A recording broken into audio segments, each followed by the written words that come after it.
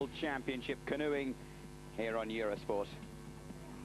It's the biggest race since Sydney 2000. We have the final of the men's K1. The men's kayak, we're in Bourg Saint-Maurice in the French Alps. I'm Vassos Alexander. With me, former British team member, two times Olympian and former World Championship gold medalist, Ian Raspin. And Ian, I don't know about you, but I'm looking forward to this one. Yeah, it's going to be an exciting afternoon. We've got um, the French uh, Fabien Lefèvre showing just how dominant he's been this season. Got a three-second lead at the moment. I wonder if anybody uh, is going to be good enough to take that away from him in the second runs. Here you see the river Isère in Bourg Saint-Maurice in Savoie. Those red poles have to be negotiated upstream the green gates downstream. And as we saw in the semi-finals this morning, this is a mighty tough course. Only the French world number one, as you said, Ian Fabien Lefèvre, really mastered it. For the rest, it was a case of who could have fewer mistakes. All to play for. The top 10 from the semi-finals go in reverse order and the aggregate times added together to sort out the placings. Fairly open field, not too many would have predicted this top 10 ahead of the World Championships. Here you can see the course downstream through the green gates, upstream a loop through the red ones. Just to reiterate the rules, any pole hit is a two-second penalty added to your time. You may be able to get away with one of those, but not one of these. If you miss a gate, and that's a 50-second penalty, and you can kiss goodbye any chance of a medal. Confirmation then of the top 10. They'll go in reverse order. The leader after the semi-finals, Fabien Lefèvre of France, a staggering 90.67 run, clean and quick in the semi-finals. Sam Oud of the Netherlands just misses out by 0.1 of a second in a place in the final.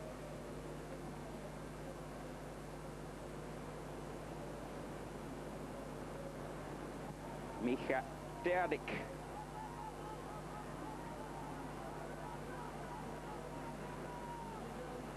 This was his semi-final run. He's lying in third place, an inauspicious start. You saw that two-second penalty.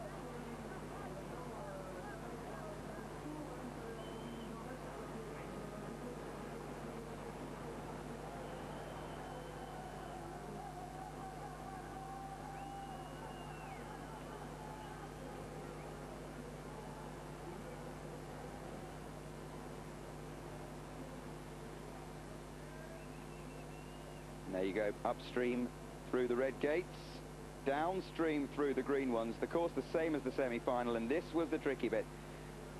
From gate 12 to gate 13, that's where we saw so many of the big names come to grief. Unlucky 13 for so many of the big favourites, including the 1996 Olympic champion, Pierpaolo Ferrazzi of Italy, including the reigning Olympic champion, Thomas Schmidt, many people's tip for the title. He came to grief on gate 13, and his world championship is over.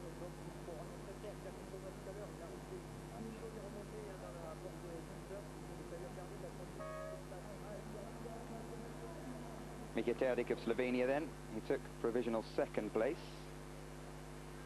after his semi-final run. Fans very, very close to the river. But Ian, after such a tricky and difficult first run of the course, they've got a feel of it now. They know just how hard it is. Mm -hmm. What's going through their minds? How on earth does anyone catch Fabien Lefèvre? Um, it's a good question. I think it was uh, just worth uh, showing Miha there. Miha's actual running time was uh, was only just uh, it was 92.96 uh, uh, so he was just just under two seconds behind And two seconds, as we've seen on here, is, uh, you know, we, it can come and go fairly easily. It only needs one slight mistake. So um, there is the possibility that Fabien could take a penalty and then he is within striking distance. So I don't think it's all wrapped up yet. I think there's uh, there's still a lot could go on in these second runs.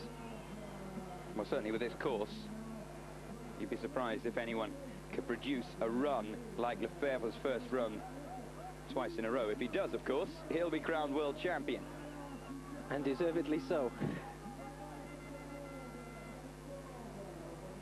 Andrej Raab of the Czech Republic is lying in second place. This was his semi-final run. Good strong finish.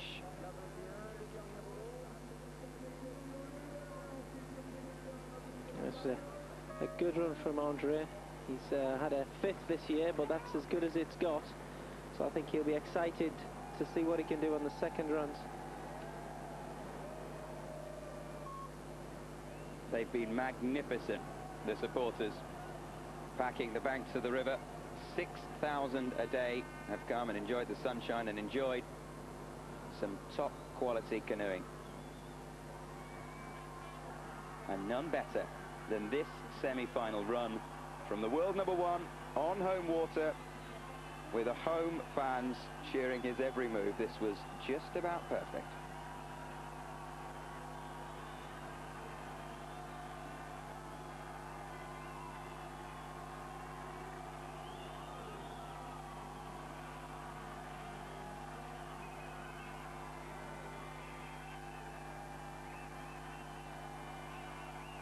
And I think Ian, the other nine competitors would do well to watch a video of this. This is how to get from gate 12 to gate 13. Yeah, I would say par with the rest of his run, that was pretty good. Um, there are a couple of the guys who were, uh, I would say, equally as good as Fabien around there, but um, it wasn't just that part of the course that produced the results this morning. I think uh, if you broke down the run into, into the sections, as do the teams, when they're analysing their performance, as they will have done before these second runs, they're re reviewing the video footage, they're reviewing the split times, they're the times of each section down the course, and I think what we'll see there is that Fabien generally was uh, probably one of the quickest in all three, all, three or four sections of the course, normally broken into sections, and uh, as a result, that's what we've seen. Fully three and a half, three and a third seconds ahead of the field. The weather just about perfect. It's sun time, suntan lotion time in the French Alps. Hardly a breath of wind. And this is the big one.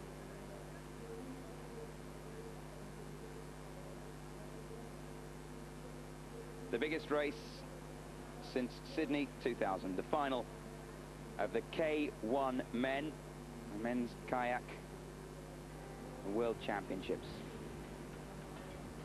And this is the starting order, the top 10 in reverse order.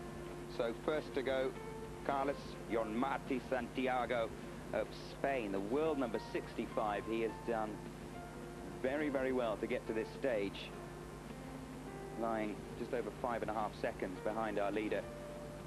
And Ian, just to, to reiterate, this World Championship, the first since 1999. Now the judges, eagle-eyed by every gate, but uh, three years ago, Less than a second separated the top nine this time round. Lefèvre, three and a half seconds ahead of the best of the rest. So, uh, very different World Championship. Certainly in the top three there, but if we just look outside of that through four through to ten, there's actually only a second separating fourth place through to ten. So there's a there's a fierce battle going on just outside of the top three. Whether anyone can break inside, we'll just have to wait and see.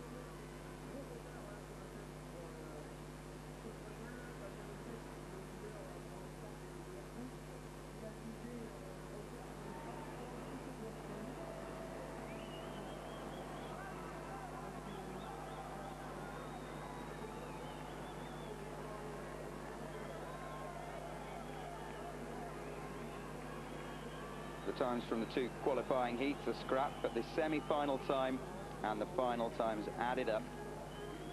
The man with the best aggregate will be crowned world champion. So far, so good for Carlos Juanmartí Santiago, the precocious Spaniard.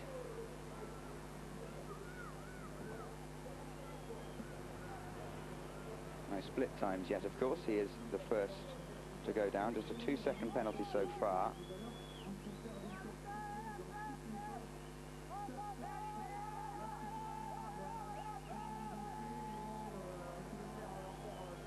But Ian, he, he seems to be picking pretty much the right line. Yeah, his, uh, his run so far doesn't look too bad. It's a little bit difficult to gauge as we're uh, as he is the first boat down, but yeah, his boat seems to be uh, running fairly well. Boats are spending most of its time travelling in a downstream direction, not too much sliding around. It's like a motor car. You want the back wheels to follow the front. And that's what they're aiming at, 197.62. There's the benchmark. Nine to go. A couple of two-second penalties. He'll be cross with himself, especially for that one. And here goes Dejan Kralj. A Slovakian, one of the favourites coming into this tournament.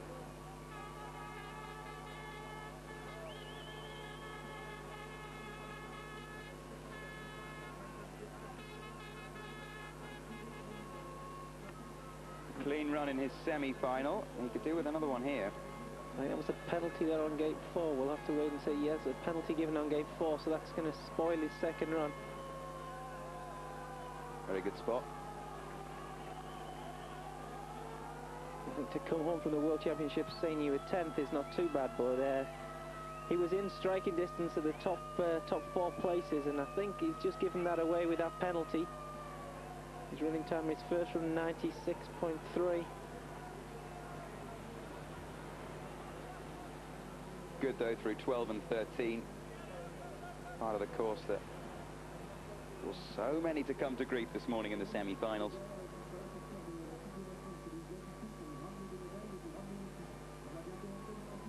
Well up at the second split though.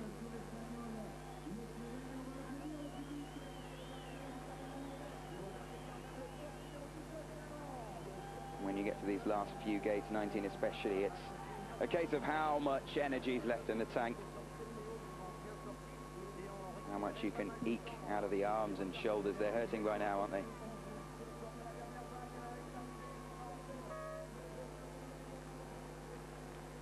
I think that's a pretty good time, 192.28. Shame about the uh, two-second penalty. But the Slovenian fans pleased with their man. Two Slovenians in this top 10. Miha Terdič, we saw his first run earlier. He's lying in third place. But here's Costa Luca of Italy. A first taste of a World Championship podium in the team event.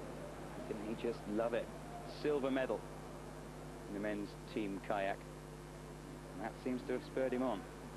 Yeah, I don't think Costa's featured on the medal roster before. Just looking back over some of his results, I think his best result was uh, a, a second position in the uh, in the pre-worlds that's this event last year in the qualification event, so not the final, the qualification. So he's a, you know, he's a newcomer to the medal rostrum if he can do that today. Certainly in the individual event. Yes, and fast through that first section, well up on the split.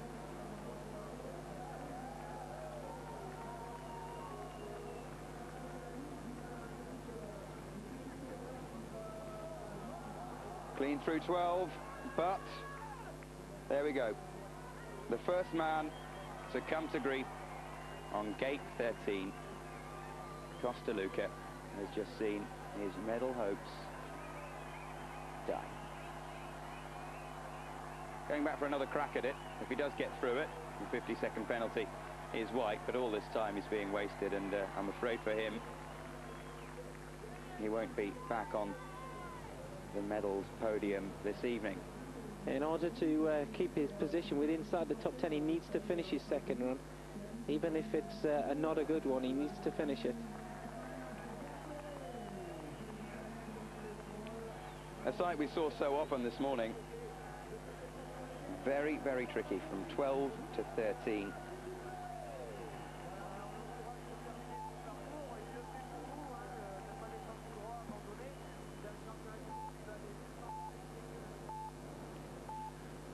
Now that's the end of Costaluca of Italy.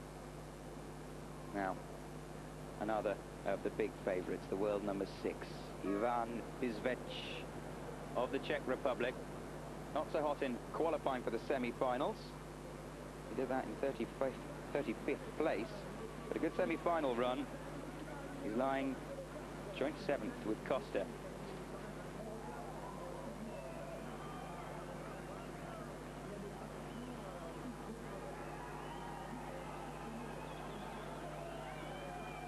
Quick and clean is what they're after. Quick and clean is what Pišvejc is producing so far.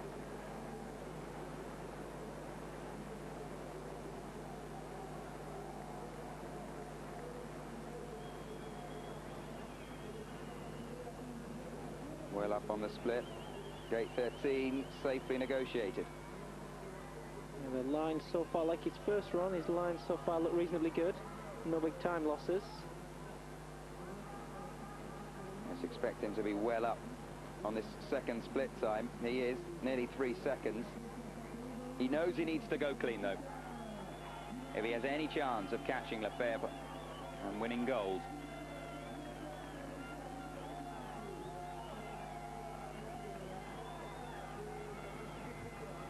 Have seen that gate swinging. I think that was water. It was. The judges haven't given it as a penalty.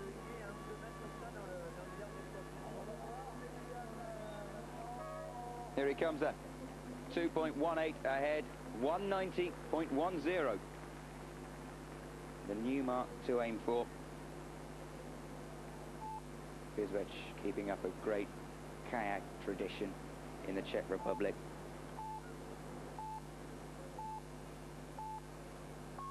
And listen for the roar now. They always get behind the French competitors.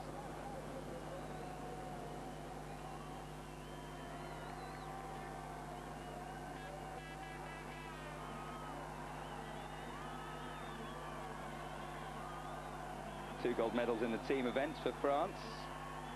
Thomas Monnier, the world number 11, looking to add to the French medal tally here. Yeah, Thomas keen to do well in this event. As I said earlier, he's uh, he's never really featured that highly on the international scene, and um, I think probably this is one of his better performances so far. Let's see whether he can hold it together for this second run.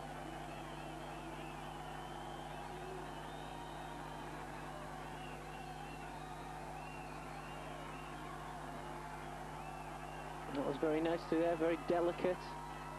Through 12. Oh, a silly penalty. Silly penalty around 14, that's not going to help. I think he just avoided it. No, he didn't.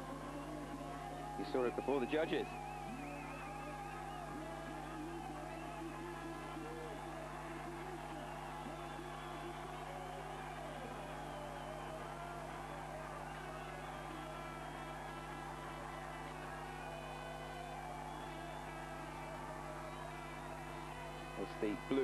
Event of the World Championships. The men's 100 metres final, if you like. And Monnier in provisional third place. There are five still to go.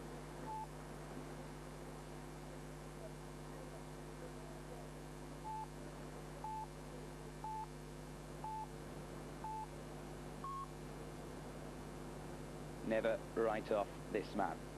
Claus Suchanek, ranked number 14 in the world, but a canny competitor. Lying fifth after the semi-finals. He's almost exactly five seconds adrift of Lefèvre. Just look at the comparison in style here between uh, this boy and some of the others. He really goes for it. Uh, you wouldn't say he's the most graceful athlete. He's attacking all the time. It's, it's quite an unorthodox style. Almost looks out of control in uh, at times, and I think sometimes is out of control. But when he gets it together, he's quick. When it clicks, it clicks.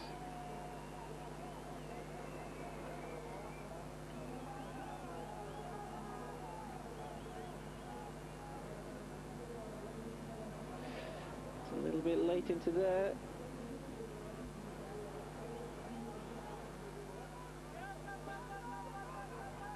They seem to be getting a much better handle on this move now.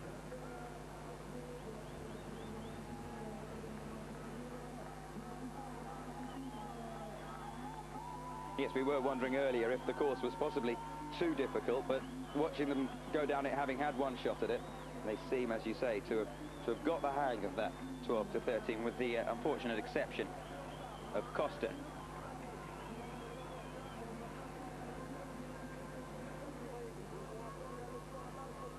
So 190.10 the time he's shooting at.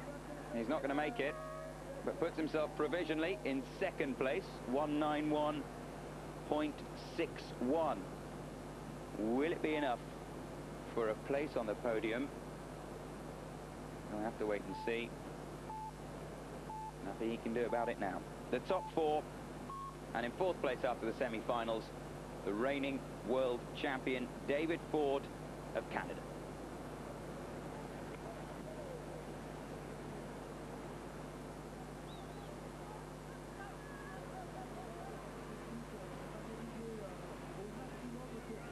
think it's fair to say he's greatly enjoyed his three years as world champion, doing the celebrity circuit back home in Vancouver, in Canada.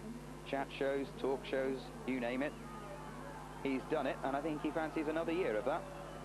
World Championships now coming round every year. Yeah, for these last few boats, it's as much a game of mind as it is of body. A lot of these guys, they know they're so close, yet they've seen how easy it is to make mistakes out here. It's a it's all about mental discipline and uh, not getting caught up in the emotions. And Davies take a penalty there at gate 12. That's um, that's going to push him down.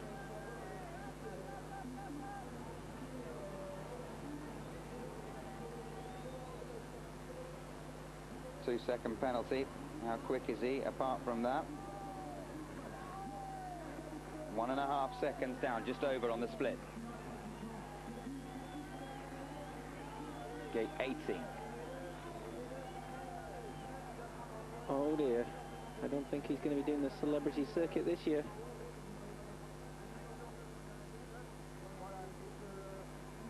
No, another penalty through 19.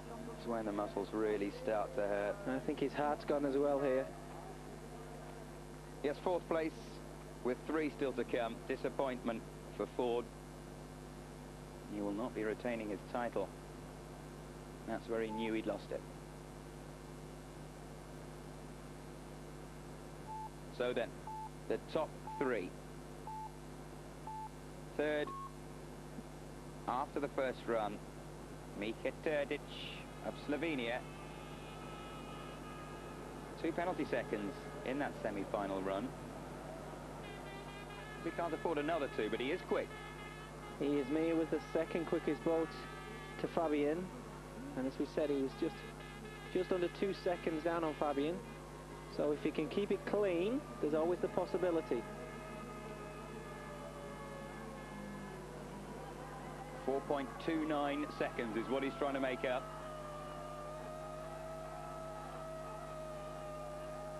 Must go clean.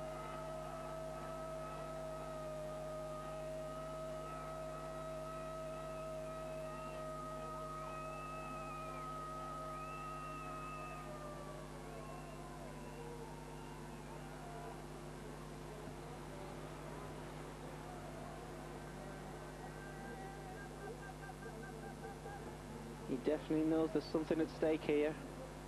Miha, when you watch him, normally he's attacking very hard. He's taking things uh, a little more cautiously. Well, he knows, doesn't he, that if he can take provisional first place, he will be taking home a World Championship medal. Lost it a little bit in the middle section. What's he got left in the tank? Under a half down at halfway there. 190.10, the time of Ivan Pišvejc of the Ooh. Czech Republic. He's just inside. Great final section. Miha Terdič knows he's going home with a medal. Plenty of fans out to support him.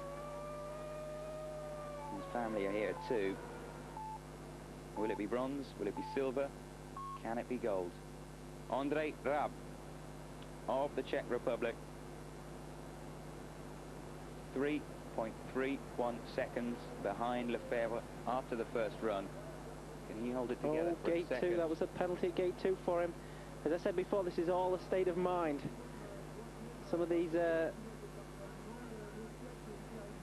some of these boys are, uh, are probably going to give this away, not because of they're technically not up to it or physically, but because they can't cope with the pressure that is expected of them or they place on themselves.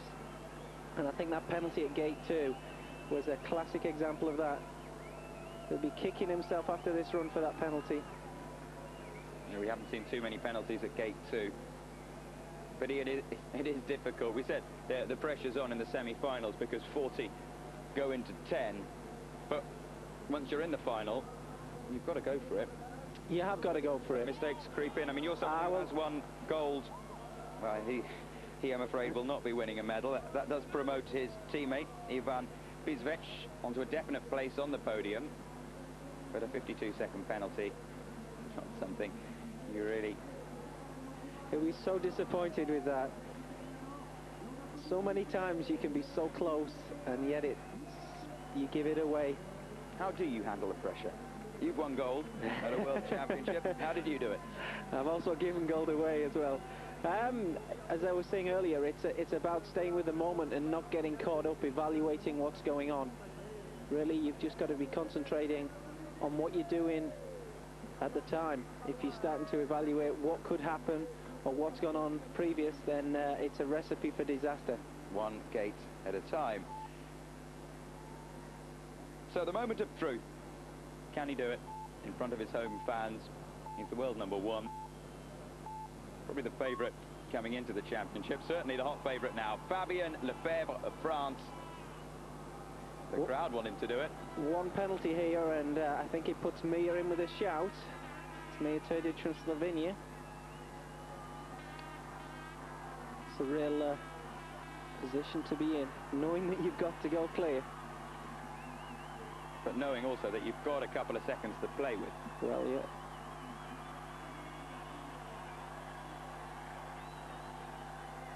Oh, he's fast. That he's was- fast again through that first section. He took a second and a half out of everyone in the semi-finals who's done exactly the same when it counts most. This, I think, is where it might be won or lost.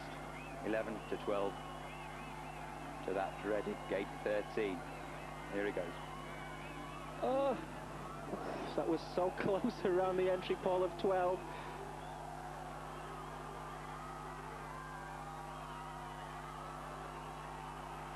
Can hear the crowds on the bank willing him down. He's clean and he's well ahead.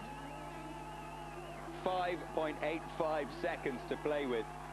In the last third of the course, this is why he's world number one. He is a man on form.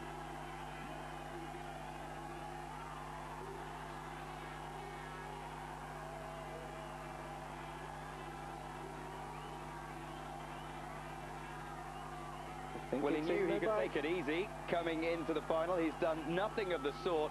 He has obliterated the rest of the field by over five seconds. Fabien Lefèvre, take a bow. 2002 world champion. Excellent performance from that man. To put two runs together like that, I don't think we've seen many others this so far in the racing put two runs down like that. In the context of, of this World Championship and, and the difficulties that everyone seemed to experience on this course, those two runs of Lefèvre, I mean, that, that's the stuff of legend, isn't it? It was very good, very impressive. You know that the uh, there was very few mistakes on either of those two runs, and we haven't seen much of that from anybody. We've seen individuals go down and put good single runs together, but to string two together on a course as demanding as that was, uh, was exceptional, and he deserves that World Championship title. And how? Confirmation then. Gold for France, gold for the world number one, gold for Fabien Lefèvre, Slovenia silver, and the Czech Republic bronze.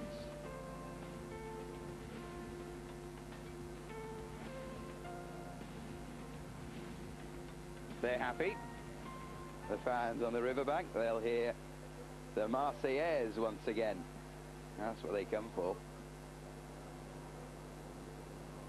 A wonderful final of the K1 men. And you couldn't really have a more worthy winner. Fabien Lefèvre of France. Don't go away. We're back after the break.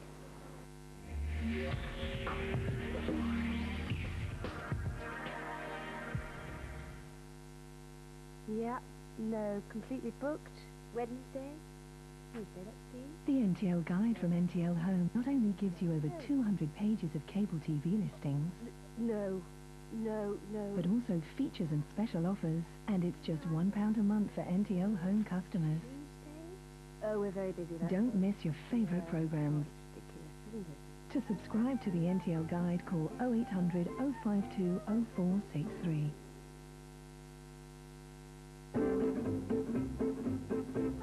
Mum, how's it going? UK's great, weather's diabolical. I'm Will, keeps buying houses with... With NTL Home's international call plan, you can call 30 countries from as little as 5 p.m. minutes. Garden though, playing cricket, bowl a bit, bat a bit, catch a lot, had a barbie, burned the chops, dog ate him, he's okay. So relax.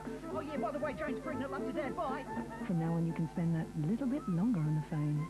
Call 0800 183 0123 to find out how much you could save. NTL Home, one line's all you need. Is the place for motor racing. There's the British World Rally Champion. Follow Richard Burns and Colin McRae in every stage. And the All Japan GP. In the American zone on Sunday nights, Indy car racing as well as NASCAR. More motorsport than any other channel. British Eurosport is the place to be. Welcome back to the River Isère. We're still digesting that simply awesome performance from Fabien Lefèvre to win the World Championship in the K1 in the kayak. We're going to have a look at the final of the C2. Now, for those of you who aren't avid canoeing fans, let's get a lowdown on exactly what all of this means. K1, C1, C2. Ian, it Mhm. sounds complicated, but as we said this morning, it's not really, is it? Uh, the concept isn't complicated. The actual process of paddling them, as we'll see now, is a little bit more difficult. Uh, yeah, the C2, as we can, uh, well, we will see any moment now, is uh, two individuals kneeling in the boat, paddling with a single blade, opposed to the kayaks, which we've seen just one moment ago. They sit in the boat and have a double-bladed paddle. Um, both uh, challenging disciplines in different ways. The, uh, the Canadian boats, they kneel and sit a little bit higher, so it's possibly easier for them to see what's coming up. And uh, much of canoe slalom is about anticipation, and when you can see what's coming, then it makes anticipation a lot easier. However, that extra height makes them also a little bit more unstable. Uh, I guess like uh, the Canadian Canadian doubles, they have uh, one blade on either side, so maybe a little bit more stable than the Canadian singles. And just having a look at this fiendishly difficult course in the French Alps. Once again, it's the top 10 in reverse order, the top 10 qualifiers from the semi-finals this morning in reverse order. And uh, as we mentioned this morning, if you are thinking of taking up C2 slalom canoeing professionally or competitively, and if you have a brother, perhaps try and persuade him to come along. Three of the top four from the semi-final are brothers. And the best of them, the Hochschorner twins. Same courses for the kayaks, same rules as well. You hit either of the poles, or both of them, and it's a two-second penalty added to your time automatically.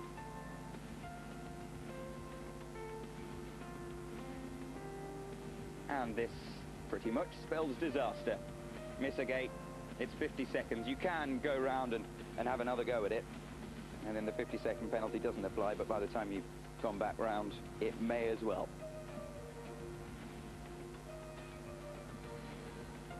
Again, some big names missing from this top 10. Not least Volf and Stepanek of the Czech Republic, world number five, for their confirmation of the top 10 from the semi-final.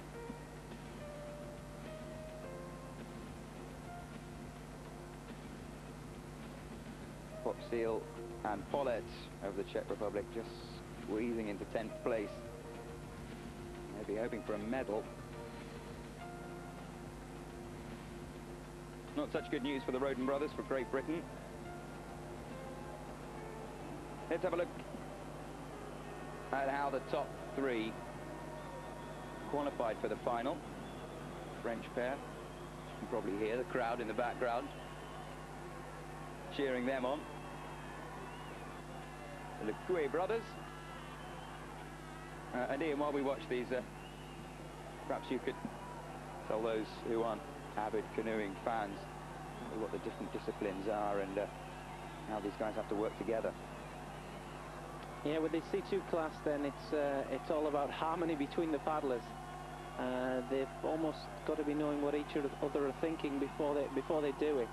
Obviously they they're getting cues from the water, the way the boat is thrown around gives each paddler an indication of what needs to happen, but it's uh, time and experience that allows these guys to uh, perform at the highest level.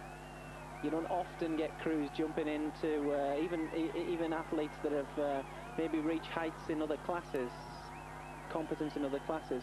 Uh, it takes them a little while to get the feel of paddling uh, Canadian doubles. Um, and as I say, it's a discipline that takes many years to master and we see few crews that do.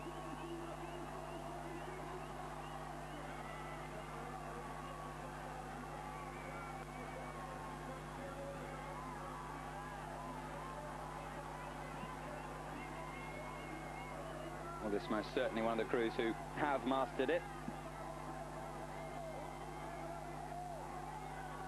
Pierre and Christophe of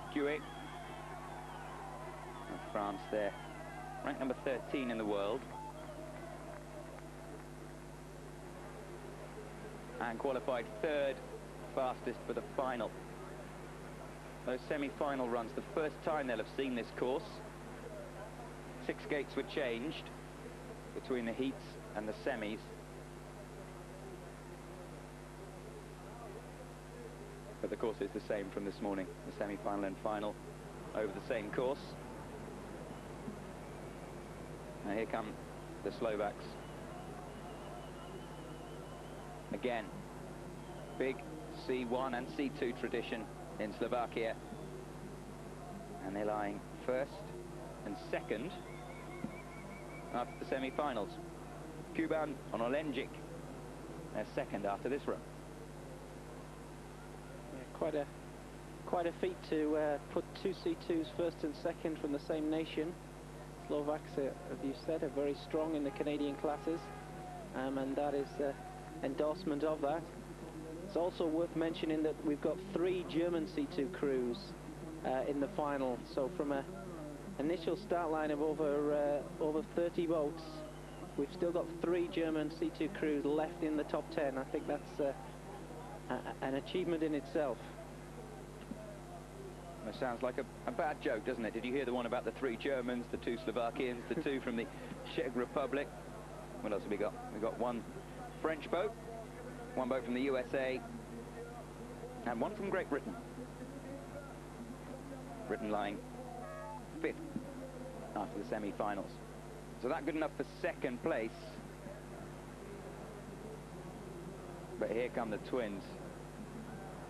I mean, something of a hash of qualifying for the semi-finals. It doesn't matter, the times are scratched. And they were amongst the earlier starters this morning. They put down a, a marker, and no one could better this.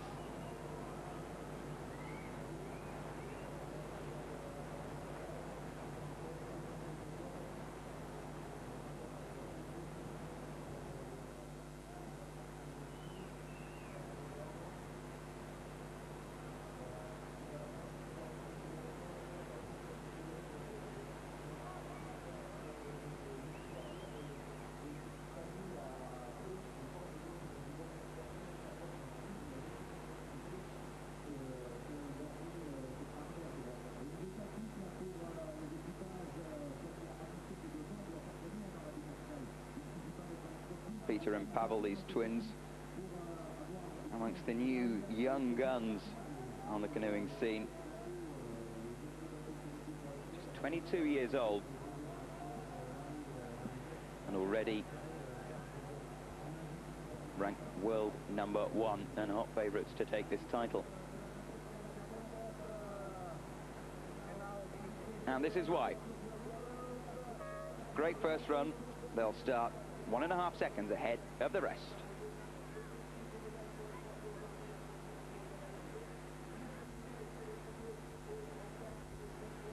So we're live for the final of the men's C2. Top 10 from the semis in reverse order, aggregate scores added together to find our winners. Here go one of the two, here goes one of the two Czech boats.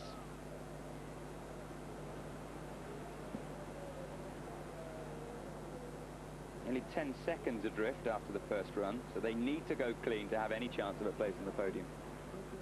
A little bit wild on the start there. You saw the boat being thrown around. That generally suggests that they're, uh, the boat's in the wrong place. It's got water on the tail. As we mentioned before, the, the volume of these boats, there's a compromise between having a big volume boat that keeps the boat on the surface and uh, prevents, prevents it being thrown around by the water, but then also having it thinly cut so you can turn it easily. And there is a balance there, and what we saw at the top was the uh, was the boat being thrown around a little bit by the water because of the tail being pushed under. We saw a two-second penalty as well, and they could have done without that.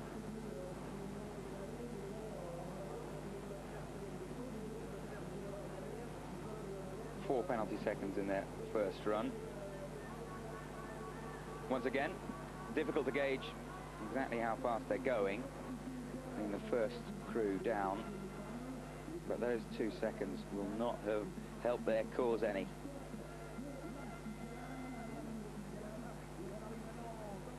Pospisil and Pollert of the Czech Republic, ranked number six in the world, came here hoping to take a medal home, but I'm not sure they're going to do that.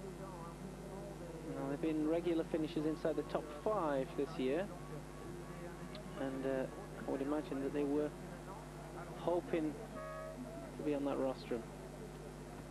217.07. If you have a look at some of the times from the semi-finals, I don't think that's going to be enough to see them onto the rostrum unless those that follow have big disaster there. The two-second penalty. Yeah, Unlucky in many respects. The, the bow of the boat just hitting one of those gates. Their, uh, their winning time for the Hochschorners after the first run was 102.35 and in 10th place 108.18 just to give you an indication of the pace. Ninth place after the semi-finals, Scott McCleskey and David Hepp, he rather, of the United States of America. Rank number 16. Two penalty seconds in their semi-final. And two already that taken at gate four. Yes, and some eight and a half seconds to make up from their semi.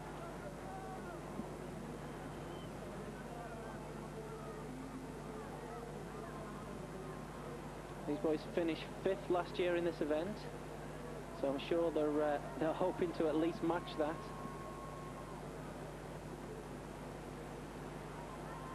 Not with penalties like that, I think that chance has gone, for sure it's gone now. That was a 50 at gate 13.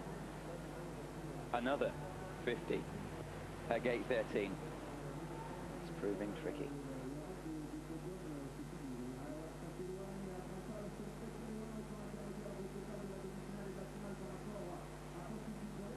Well, with that 50 second penalty, the split times are rather meaningless. They got in trouble there. Yeah, too far river right. You're looking downstream to the boat through the gate. They were too far to the right.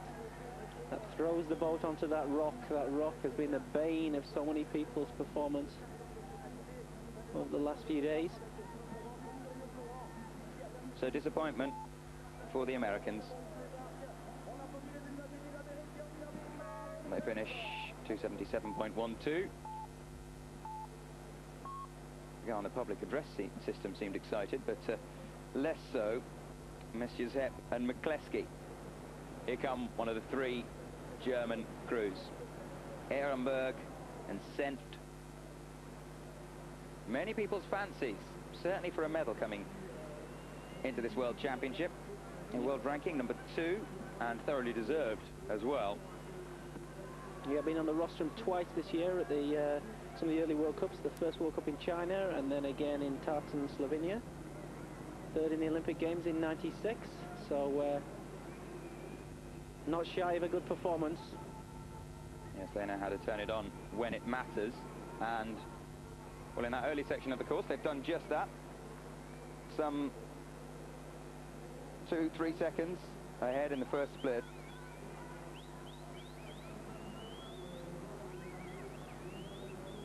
First run 106, but a two-second penalty, so they'll be hoping to go clean on this second run. Just about through gate 13. But from what we've seen of that, any old way will do, won't it? They're clean so far. Let's have a look at their split two-thirds of the way down the course. They should be well ahead, and they are. Two and a half seconds ahead of the Czech boat. Boss Bisil and Pollert. 217.07 is what the Germans are aiming for. A little bit of time there around that gate. They can't afford to do that.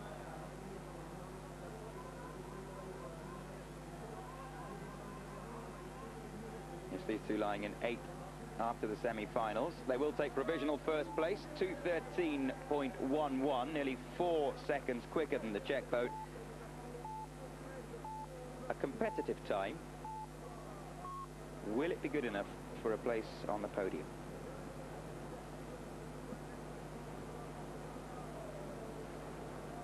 It was a clean run. Our big rivalry. Kai Walter and Frank Henze of Germany. Ranked number three in the world. And a powerful, accomplished German duo. Yeah, you can see these boys. They've got conviction. They're pushing hard, throwing the boat around.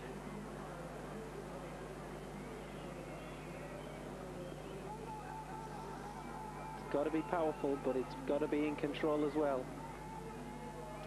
Composure is a key element to this sport. Well, they hit both poles there, but just a one two-second penalty. They've lost a bit of time around there as well. They were clear on the first run. So there's not too much time lost, although they weren't particularly good into the upstream after that penalty either, so there's time given away there. Tight round 14. Now they have to go for it. They know that. They're well down on the split. Yes, two seconds lost to penalties and another three or four lost around gate 11. I think it would be fair to say that this isn't going to be their day. Time in 19 as well. Yes, I don't think that's too controversial.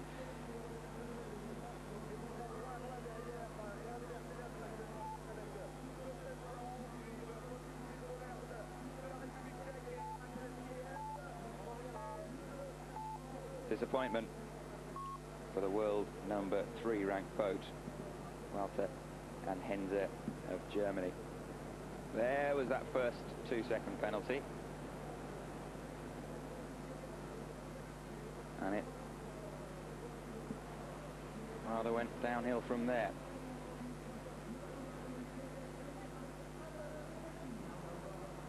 Second got the Czech boats, Jiras and Máder. Reigning world champions, Yes, reigning world champions, of course. defending their title.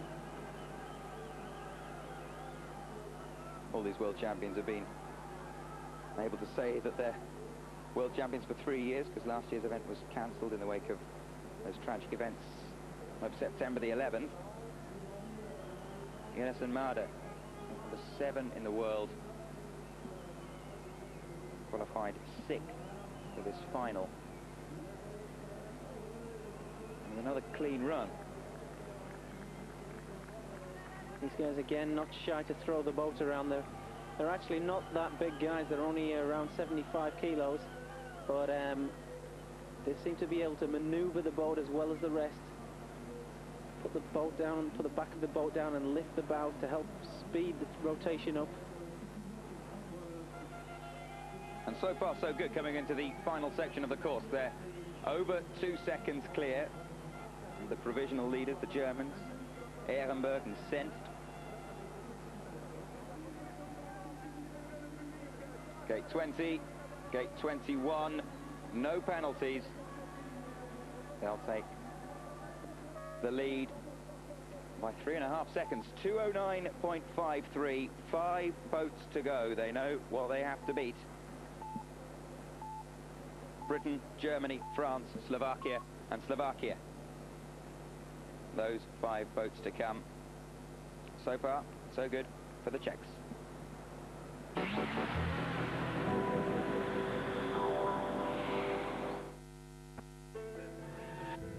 Every turn, every gear, every rev, every second is captured, analyzed and adjusted real time with the help of HP ProLiant servers powered by Intel Xeon processors. The intelligence that drives the BMW Williams F1 team to victory.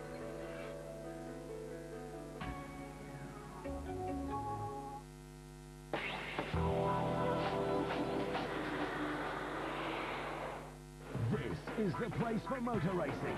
There's the British World Rally Champion. Follow Richard Burns and Colin McRae in every stage. And the All Japan GP. In the American zone on Sunday nights, Indy car racing as well as NASCAR. More motorsport than any other channel, British Eurosport is the place to be.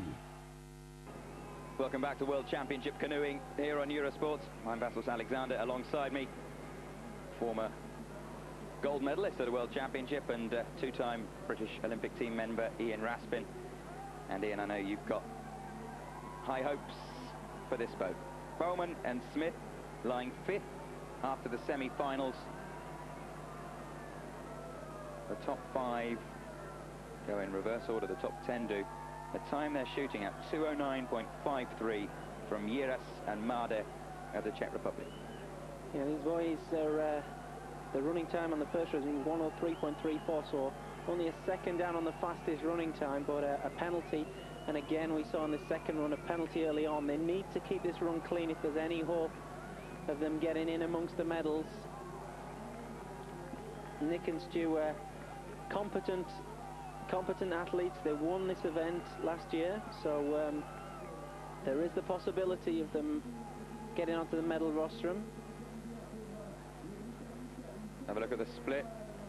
2.2 seconds down on the Czech boat. They're ranked number 32 in the world, the British duo. I think that's slightly harsh.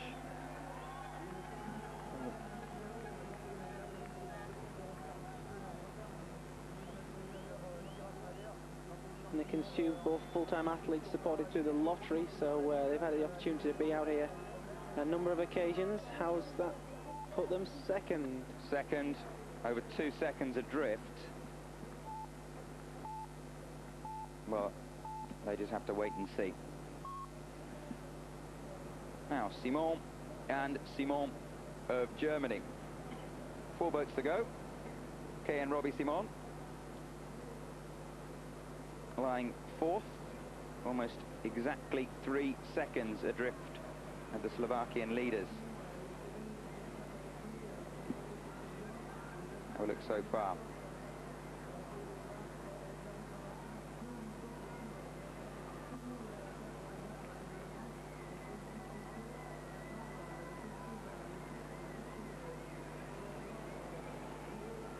Very powerful pair, but just down on the first split. Yeah, the Simon brothers in a very similar position to uh, Bowen and Smith, who were the British crew just down previous. They had a, a reasonably quick time, 103, but two-second penalty spoiling that. They need to stay clean. Fast and clean. Clean through 13. Tight through 14. Have a look at their split. It looks good. Are they inside the Czechs? Just outside. A third of a second to make up in the last third of the race or so.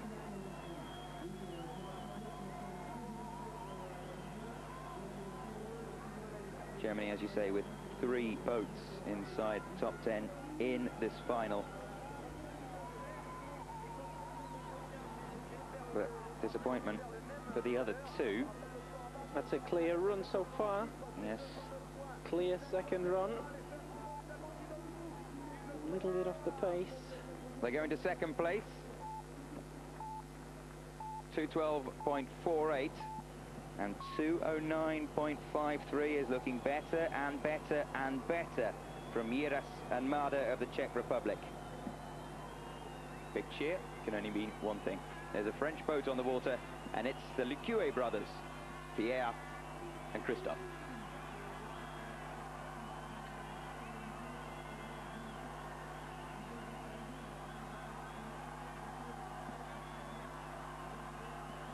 All three of these last three crews went clean on the first run, so uh,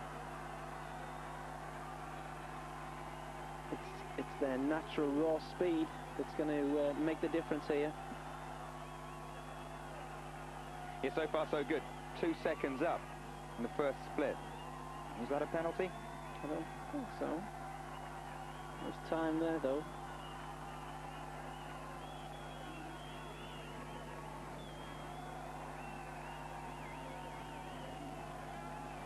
Really good. Yeah, about as good as we've seen through uh, Yeah. 12 and then 13 and 14. Good as some of the kayaks through that section. Here comes the split. You're right, it wasn't a penalty. They should be well ahead. And they are. Nearly one and a half seconds.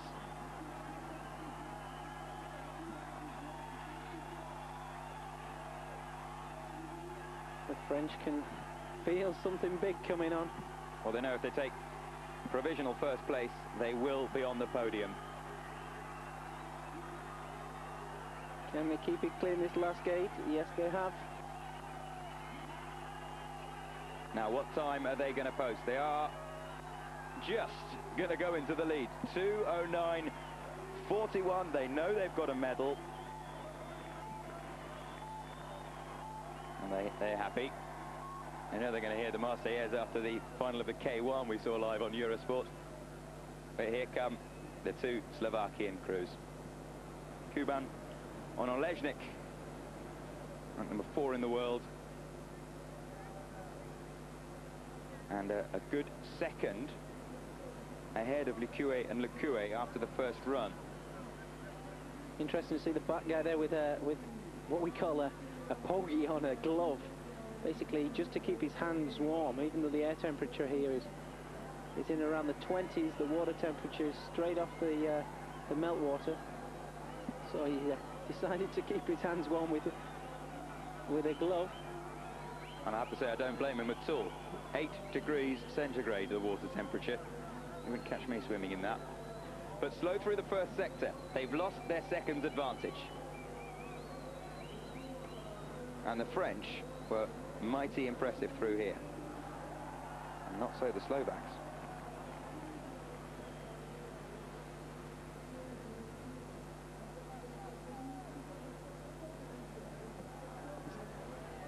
Valuable time being given away there. It wasn't a bad contingency plan at gate 13, but they didn't really follow it up into 14. And I think we, we will see here there's time given away. Oh, yes. They're clean, but they were slow through that tricky midsection. Four and a half seconds. They're not going to make that up. In the last third of the race. So the French. French brothers. No, they'll have silver, if not gold. German brothers. No, they'll have bronze, if not silver. Can we have a podium of three sets of brothers, I wonder? Disappointing second run. The world number four ranked boat. And finish out of the medals. Well, here come the twins. Peter and Pavel, Hochschorner. By far the best in the first run. And they put two in a row together. They are ranked world number one. They are Olympic champions. They are European champions. Can And they also be world champions? You heard the, the cheer from the crowd. They won a French gold medal, and that's a two-second penalty early on. Point 10 down. as they come into the middle section.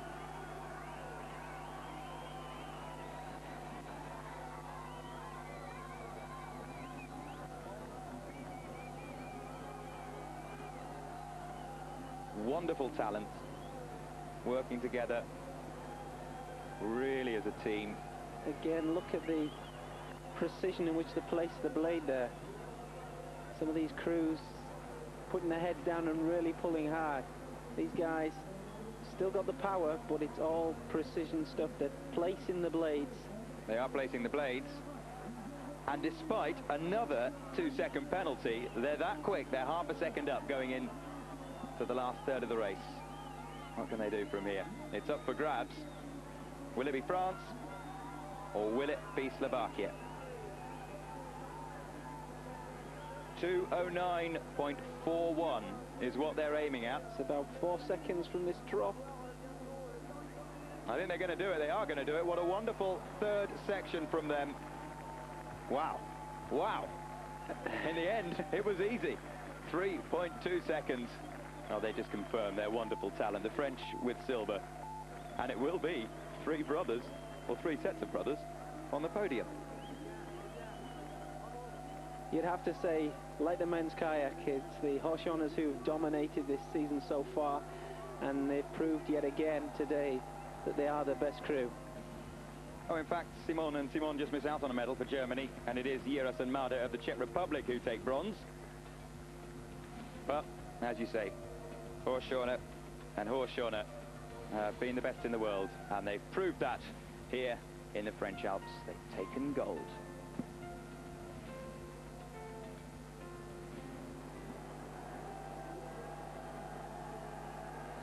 It's been a wonderful day for the fans by the riverside. It's been a wonderful day for the Hochschorner twins. World Championship gold medalists, and what a future these two have. It's the bronze medal run of Jiras and Máder.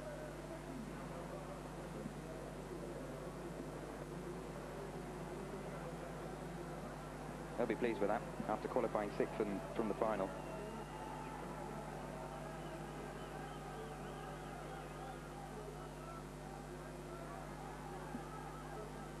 Yeah, I'm sure these guys were hoping to hang on to their uh, World Championship title, but to come away with third is not bad.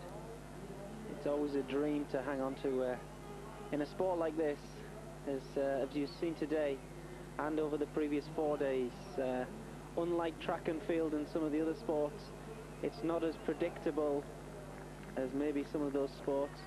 You can be on form, and one minute you're on the rostrum, and next minute you're in 20th position.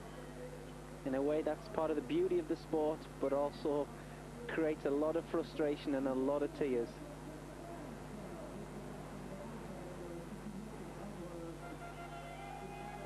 A spirited defence of their world title, though, from the Czech pair.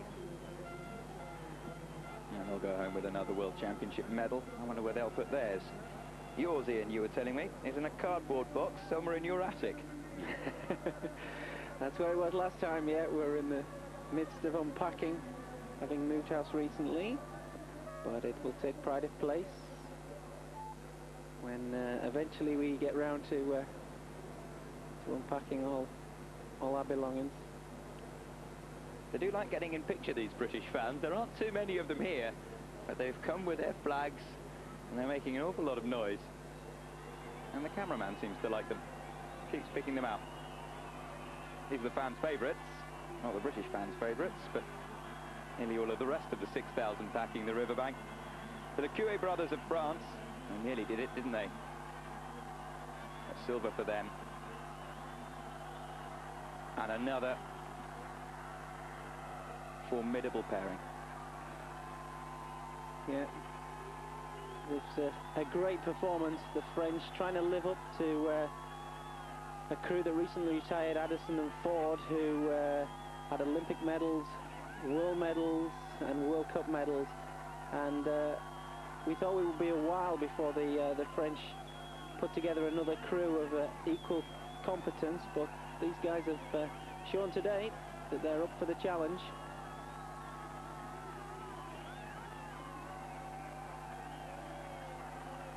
Very good through that section. Interesting to see their final little section because they lost a lot of time to the Slovaks in this last section. We can spot any obvious errors.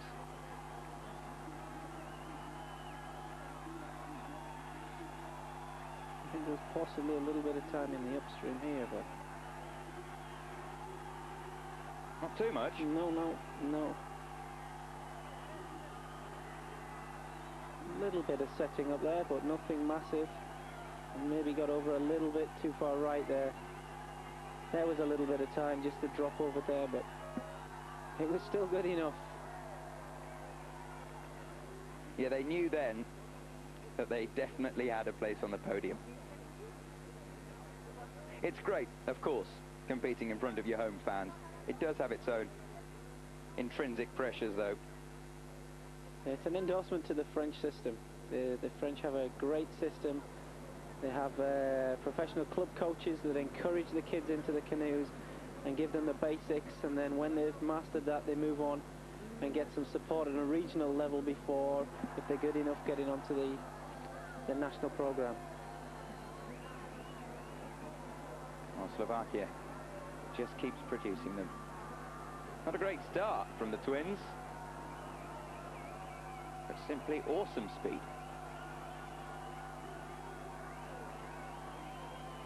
Can these two dominate for years and years and years? Well, they're only 20, I think 20, 22 or 23 now, so uh, you would think that there's a, a distinct possibility. We've uh, had an ongoing debate of what the prime age is for a slalom canoeist, and we've got David Ford in men's kayak, who's 33, 34 years old, and uh, we've seen today Fabien at 23 years old winning the uh, World Championships. So there's a spread of 10 years there, so I think any ideas that we once had about mid-20s being the right age is um, no longer the case. Early to mid-20s, we'll call them. These two, the twins, Peter and Pavel. They've dominated the season. They've dominated here in the French Alps. And they'll go home to Slovakia proudly carrying gold medals. They deserve it.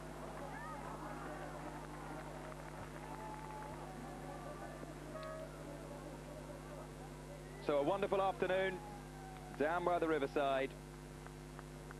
France have won the K1 gold medal. Slovakia, the C2. We're back tomorrow for the final of the women's K1. We'll also have a look at the K1 team event. And that's straight after this programme. It was yesterday. Always a treat to see the team events in this format. It's only at a World Championship that you'll ever see that. Three boats desperately trying to get all three of them down past the finishing post within 15 seconds of each other. But today was the day of the youngsters for France and Slovakia. Thanks.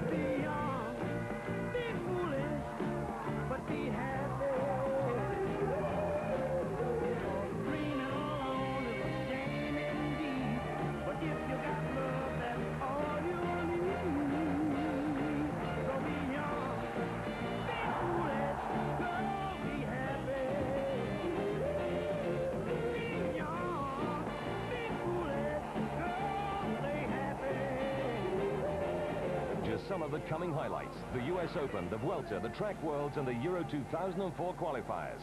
British Eurosport in September. British Eurosport is the place for motor racing with World Superbikes. 13 rounds and we've got every one. There's the stars of motocross, a full season of MotoGP and a brand new superstar, Valentino Rossi.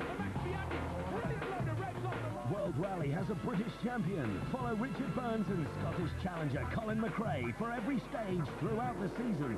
There's the legendary Le Mans 24 hours and some of the tightest saloon car racing in the All Japan GT. The Super Racing Weekends have five motorsport events in just one meeting. Sunday night means the American Zone for Indy car racing, America's Formula One and NASCAR. Nights of Thunder, out on the ovals. More motorsport than any other channel. So if you love motor racing, British Eurosport is the place to be.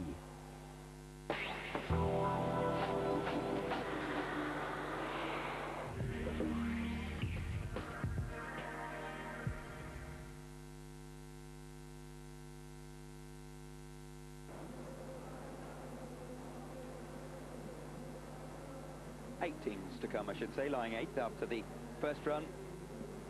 The Australian trio, Lachlan Milne, Warwick Draper and John Wilkie. Two penalty seconds after their first run. Already... Almost injury there into uh, gate four. These guys are all based in uh, Penrith, just north of Sydney in Australia. Train and, uh, train and live around the site of the Olympics in uh, 2000 all looked after by uh, ex-GB athlete Richard Fox, five times world champion. So uh, I'm sure Richard's on the bank willing them down.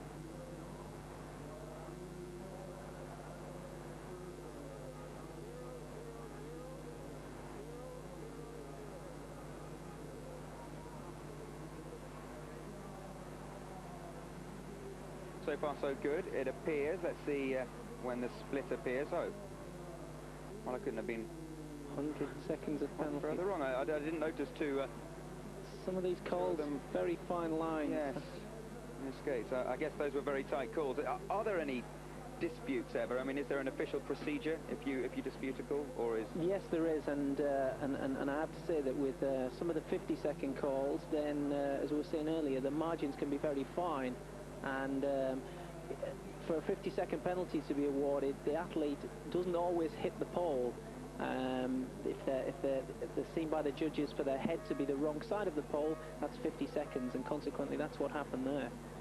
Two 50 second penalties that we, we didn't spot them yeah well the judges have eagler eyes than we do. The Australians down in seventh place. Slovakia remember the team to beat currently and uh, well, the roar you can hear is from 6,000 French canoeing fans willing their team on. They saw their C2 team take gold in magnificent style earlier this afternoon. Their K1 team, Thomas Monnier, Benoit Peschier and Fabien Lefèvre. Seventh place after the first run, six penalty seconds.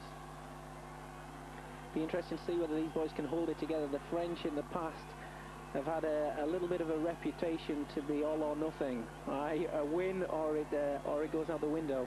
Um, but under the guidance of Sylvain Curinier, who uh, is now the national French kayak coach, I think he's quieting things down a little bit. And certainly these top two guys, uh, Fabien and um, Benoit, Benoit Peschier, are uh, certainly established themselves over the last two years in their individual class.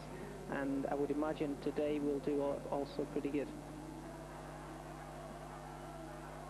Well, you mentioned all or nothing. We saw that very well, very well exemplified Four in C1. Four seconds up. Four seconds up at this stage. Four seconds up and clean so far. The Slovakian time is the one they're uh, they're aiming for. Remember that C1 race when they dropped the paddle and the C2 when they were just simply brilliant and uh, came away with a gold medal. That's all or nothing. Let's see uh, whether this one's all or nothing. Four seconds up at the split, coming towards the end of their second run. Roared home by the six 6,000 strong crowd here in the French Alps. We're between Les Arcs and Tignes. Clean run. And the French will take the lead. Will that be good enough? 218.25. That is a pretty good marker to come to put down with six teams to come. 218.25. They know what they're aiming at. It's the USA in sixth after the first run.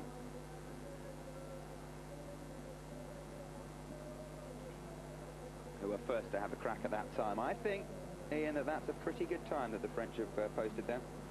Yeah, I was just looking at the uh, the run for the, the first time runs, and uh, yeah, I'd say that that's that's going to be difficult to beat. Um, The best of the first time runs were Italy, who went clear 104.89, got it 105 seconds. So they've got, uh, well, 10 or so seconds to play with, but uh, that looked pretty fast from France. And clean. And here come the USA into that tricky mid-section. Let's see how this trio copes with it. Scott Shipley, Brett Heyl, and Scott Parsons through gate 12.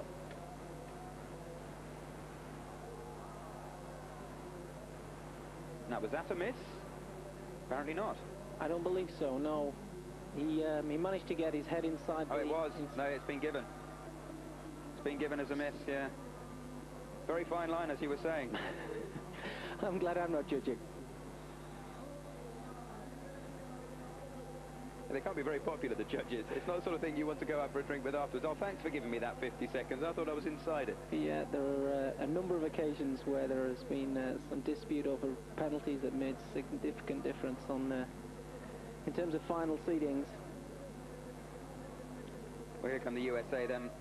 With that 50-second penalty, there goes their hope of the gold medal. So France still in pole position. The USA fourth after the second run, so they won't get a medal. Next, it's Holland, the Netherlands.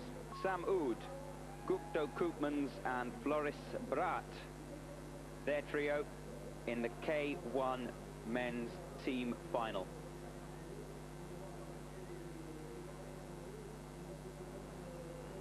After Holland, just four teams left to go in their second run down down the course. Oh. I'm not quite sure what's going on there. It seems as though the uh, the first man into gate four disappeared.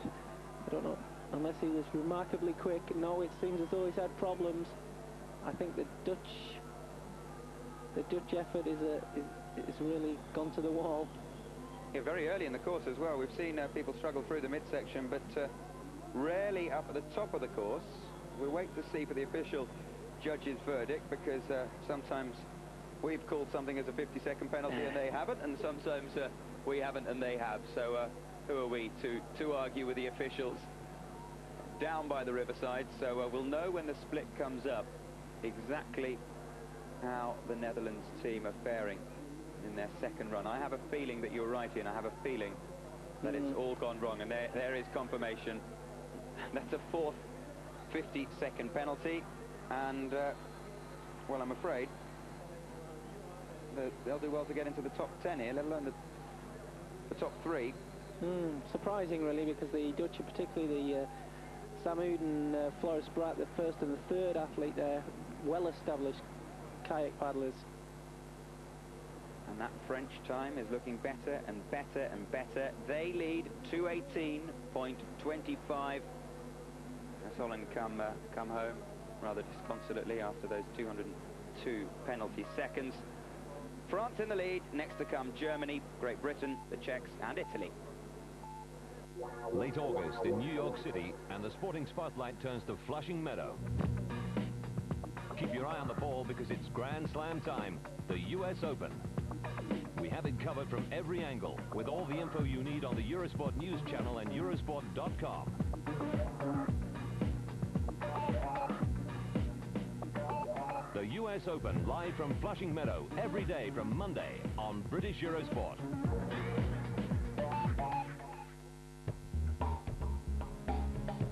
With Kia, the car that cares.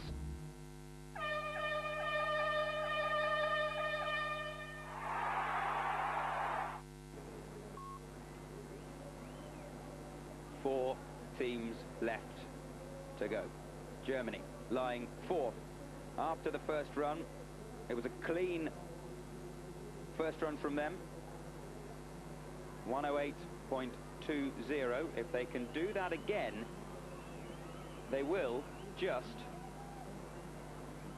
move ahead of France into first position with three teams left to go. But that French time, that clean French time in their second run, with all the pressure that these guys are under coming to this, the business end of the men's K1 team final, well, that French time is looking pretty hard to beat. Again, no lack of uh, experience here. You've got Thomas Schmidt leading the Germans down.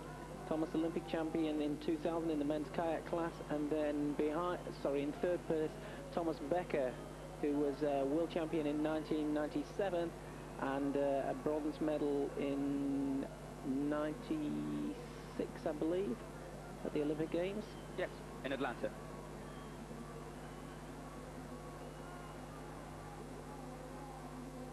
Two seconds of penalties.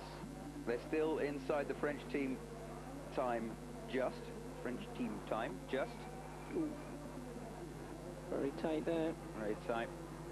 Three gates to negotiate. 218.25 is the time they're aiming at.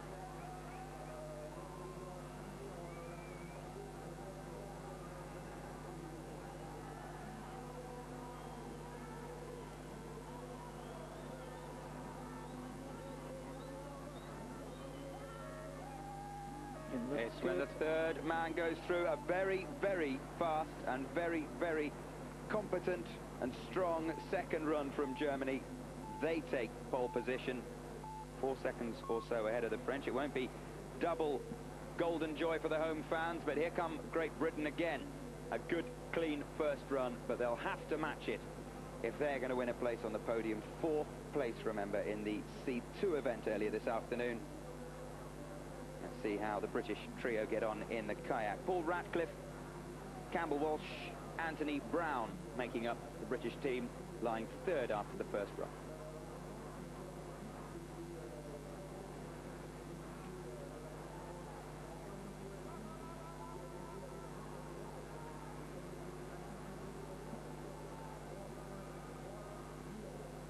All three of these guys I know uh, reasonably well. Paul Radcliffe leading leading the team down. He uh, silver medalist at the Olympics in 2000. Then in second place, Campbell Walsh. He was fourth at European Championships three weeks ago. And Anthony Brown bringing up in the third position. Guy from Durham and not far from uh, my hometown. All well-established international athletes and capable of getting in amongst the medals here if uh, they can hold it together. Paul certainly will be on a mission because like um, two of his closest rivals didn't qualify for the uh, final, semi-final and final on Sunday. That was a massive setback for him and for the British team. Paul was uh, a, a, a, cert medal hopeful. And uh, yeah, well, I'm sure he, uh, he, he would like to take something home and this is, is going to be his only opportunity. Well, as you saw, a two-second penalty. That came on gate 14. They're a bit slow putting them up, the judges here. I don't think they're going to go ahead of Germany. They're not, because there was another two-second penalty. Will they just squeak in ahead of France? No, just below France. Great Britain provisionally third, France second, Germany first. There are two teams left to go on the water. And lying second after the first run, the Czech Republic, Ondrej Raab, Yuri Kresnavek, and Ivan Piz Vajek. I don't think I pronounced those names entirely fluently here, but I think you know who I'm talking about. They're a good, strong team as well.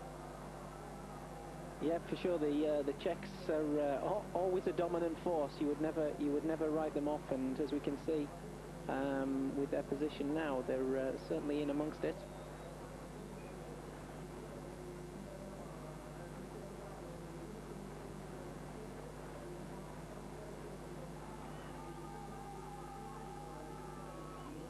leaving each other a little bit more space than some of the teams. That's uh, that's key here. If you end up on top of each other, then it just makes the uh, the situation even worse.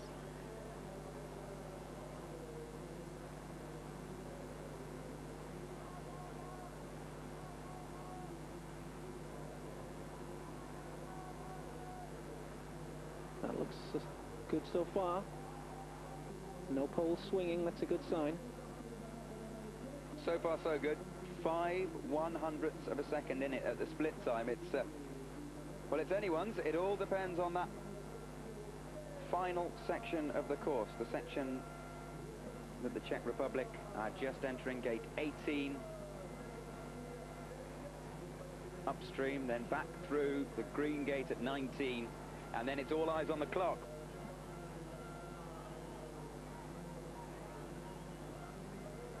The French waiting in anticipation.